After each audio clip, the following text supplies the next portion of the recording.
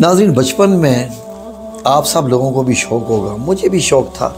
तो मैंने एक वीडियो देखी, एक फ़िल्म देखी। तो अमिताभ बच्चन की एक फ़िल्म थी तो उसका एक गाना था नाजरीन। आप भी कहेंगे कि इस चैनल पे गानों का ज़िक्र कर रहा है।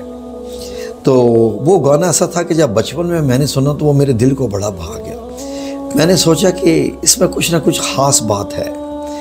वो गाना ये था कि रोते रोते हंसना सीखो हँसते हँसते रोना।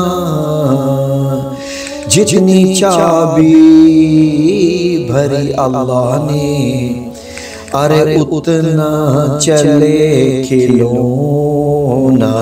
रोते रोते नारीन गौर कीजिए। कितनी गहराई थी। मैंने अल्लाह का नाम जहाँ चेंज किया, उन्होंने तो अपने मतलब वो जो भगवान का नाम इस्तेमाल करते हैं, राम का वो किया हुआ है।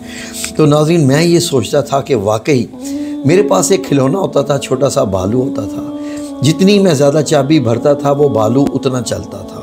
या एक गाड़ी होती थी, चाबी वाली, जितना नीचे से चाबी घुमा देते थे, वो उतनी आगे चलती थी। तो अल्लाह रब्बुल इज़्ज़त ने नाजरीन, हमारी ज़िंदगियों में एक चाबी भरी हुई है। किसी में पचास साल की चाबी है, किसी में सैंतीस साल की, किसी में पंद्रह साल की, किसी में अस्सी साल की, किसी में नब्बे साल की, किसी में कितने साल की, किसी में कितने साल की। और हम लोगों को मालूम नहीं है कि हमारे अंदर चाबी कितनी भरी हुई है। हमारे अंदर चाबी कितनी भरी हुई है। जहन में रख लीजिए कि ये चाबी किसी वक्त भी ख़त्म हो सकती है तो हमें वापस लौट के जाना है। उसकी तरफ़ जिसने हमारी ये चाबी भरी हुई है। गौर की कर लें। इसलिए ज़िंदगी में ही उसको पुकारना शुरू कर दें, क्योंकि मरने के बाद ना हम, ये पुकारना हमें कुछ फ़ायदा देगा और ना हमारे नामा अमाल में वो लिखा जाएगा।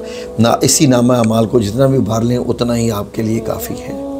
जजाकमुल्ला खैर।